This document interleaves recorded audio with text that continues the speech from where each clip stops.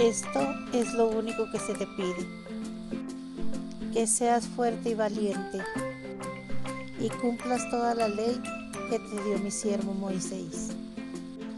No te desvíes de ella ni a la derecha ni a la izquierda. Así tendrás éxito en todo lo que emprendas. Medita día y noche el libro de esta ley, teniéndolo siempre en tus labios. Si obras en todo conforme a lo que se prescribe en él, prosperarás y tendrás éxito en todo cuanto emprendas. Te he mandado que seas fuerte y valiente. No tengas pues miedo ni te acobardes, porque el Señor, tu Dios, estará contigo donde quiera que vayas. Mi nombre es Alma Gutiérrez.